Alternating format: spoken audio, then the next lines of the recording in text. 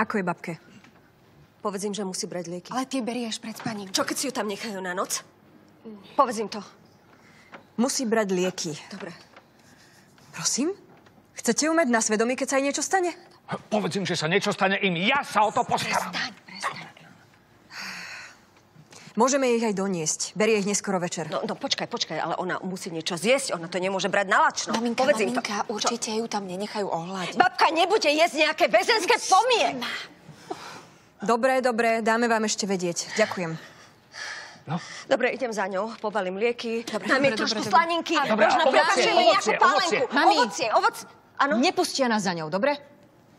To, to teda Ako nie. To, to, ja zavolám Ženiu a Jerguša a my odtiaľ dostaneme, aj keby sme tu Oco. buldozérom vytrhnúť. Čo? Tak toto nemôžeme riešiť.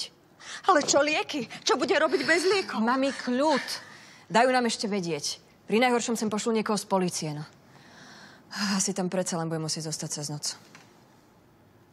Len cez moju mŕtvolu. Oco, dosť. Nekomplikuj to ešte aj ty. Fíha, tak tu šefuješ ešte aj otcovi? Kým si tu nebola, všetko šlo fajn a teraz samé problémy. Ocko, ja som s tebou, ideme zachrániť babku. Máš pravdu. Idem volať pošli. Odlož ten mobil!